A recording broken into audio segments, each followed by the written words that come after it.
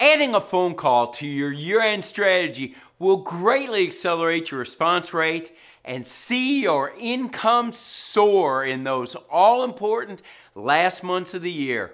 Watch this video to see what it takes to get to perfection when making a year end call. Let's get started.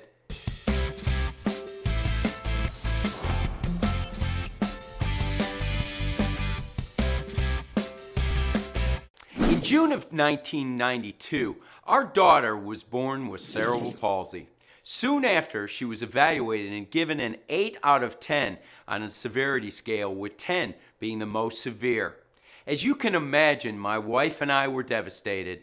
The prospect of long term medical care and physical therapy and the cost of that care hit us especially hard. We live on donations from individuals who support our efforts through the organization we work with. Working for a nonprofit, our insurance was adequate but not enough to cover all the expenses necessary to care for our daughter. Since much of the treatment and care of our daughter was above usual and customary according to doctors and insurance, we had to pay a lot of the expenses out of our pocket. We immediately turned to our most supportive donors for help.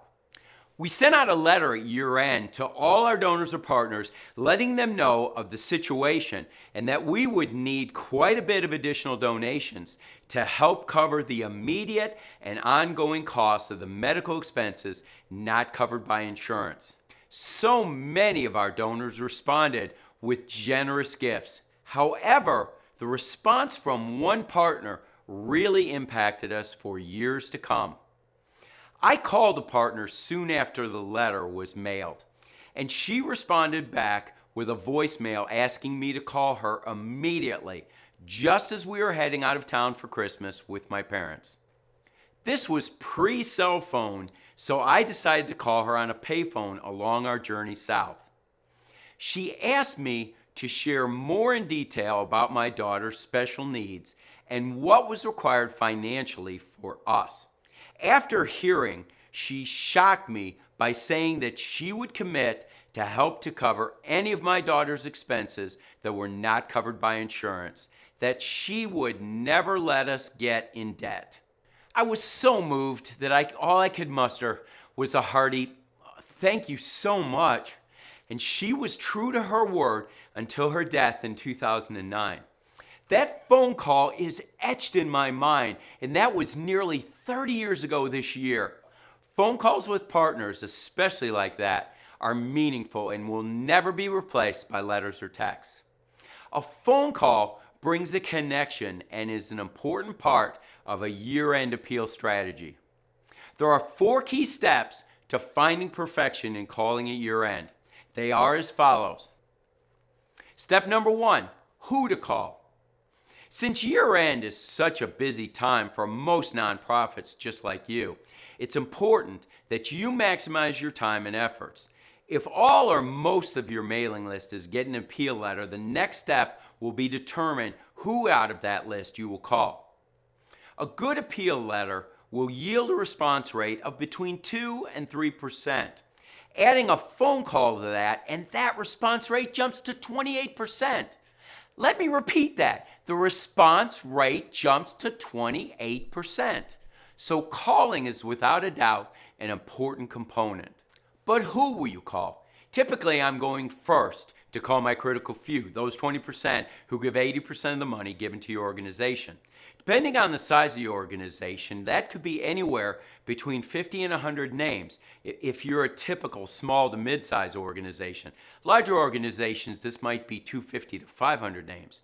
There may be some critical few donors who you wish to visit at year end, and we'll discuss that on a future video. But knowing how busy the donor is and you are at year end, calling may be your best option. Step number two, planning for the call. If you're like most nonprofit leaders, you probably have more email addresses than phone numbers.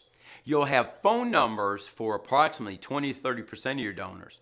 That means you're going to want to spend some preparation time getting phone numbers for as many of the remaining names as you can. If you're a part of a larger nonprofit, there are services that will look up phone numbers for you, but often most nonprofits use volunteers to look up names online. This is a good task for someone who wants and needs flex time at home, possibly after the kids have been put to bed. Calling scripts are invaluable for year end calls. Whether you have a team of seasoned callers or a handful of volunteers, it's so important to have a detailed script with specifics on the cause concept that's the project or program mentioned in the year end letter. Include two to three stories of actual changed lives that came about as a result of this program or project. Emotional givers can't get enough of stories. Calling scripts, at the very least, act to prime the pump on calling. They at least get the caller over the awkward hump of those initial calls. It seems that after about three to five calls, a rhythm or pattern begins to develop and calls seem to get easier. That leads me to the importance of calling many donors or partners all at once. If possible, set aside a two to three hour block of time to call individuals. Sporadic calling never allows you to actually get into a flow and will make the process much more difficult than it has to be. You may be tempted to call when it's most convenient for you, like Thursday morning from 9 to 11 a.m. But that might not be a good time for your donors. You might find that it's easier to reach donors in the late afternoon at the office or in the evenings at home. I realize that calling at home at night might not be the best time for you, but there's a reason why we get those telemarketing calls around dinner time. I don't at all want you to compare yourself with telemarketers. You're bringing a much more important message, but those organizations call at night for a reason. Consider going to work at 1 p.m. and work until 8 some days to be able to call into the night. Or work in the morning, take the afternoon off, and call at night. But look for a way to make it work. You may even find that weekends work better than weekdays. Over the years, I've found Saturday afternoons to be a very successful time to call as many people get their chores done in the morning, leaving afternoon to rest before going out in the evening. I realize that it might not be easy to gear up to call on weekends, but this calling campaign is just a few weeks out of the year, and you'll find adding a call at the best time for donors is highly fruitful. Step number three who will call? The assumption is always that the executive director and or the development director will call it year end, and that's very true. But there may also be board members, program directors, or volunteers who may also be equipped to make phone calls.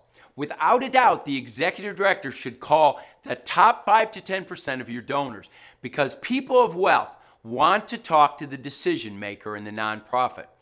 The development director can call the next 5 to 10%. But there may be a nice number of donors still left that could be called by board, staff, or volunteers. I especially like employing board members because it gives them ownership in the cause and helps them share the burden with staff of raising money for the organization. But it also connects them with other donors. And that creates a special bond as together they're making a difference. That's a kindred spirit that develops. Step number four what to address on the call. When following up on a letter, sometimes the phone call can be as simple as Did you get the letter? How much will you be able to help? However, it's amazing how people don't remember getting the letter or perhaps never got the letter at all. That's why a call is so important. If the donor didn't get the letter and doesn't remember getting it, the perfect call contains three key ingredients information, opportunity, and call to action. You'll want to initially and briefly address the overall problem that exists that caused you to create the program or project mentioned in the letter. You'll then want to address the opportunity that exists that needs funding. I've found that donors respond better to opportunities to be involved rather than needs that need to be met. Everyone wants to be involved in some way in something exciting or something that's making a difference. Using facts and figures at this point lets the logical giver know how this program or project is changing lives and what it's and what expanding adding on or growing the program will do to change even more lives. And that usually includes additional funding. That's where the call to action comes in. A call to action includes an actual appeal for funds. Just put it out there. Mr. and Mrs. Jones, will you consider a gift of 1000 2500 or even 5000 to help at this time? And wait for their response. This can lead to a moment of awkward silence, but oftentimes the delay is due to the donor processing if and how they can give, not necessarily looking for a way out. If you respond again before they respond, you may short circuit the process. Make sure that if they respond in the affirmative, that you have an easy way for them to give. I recommend sending them to a website or sending them a text to give if that's an option with your organization. If they ask for more time, be sure to set a specific time you will call them to get the response. Don't leave it open ended or in their court to call you back. It just won't happen. If you say no, just thank them and let them know how much you appreciate their participation and partnership. If you're a faith based organization, ask if there's anything for which you can be praying. Be sure to send a thank you for any positive response.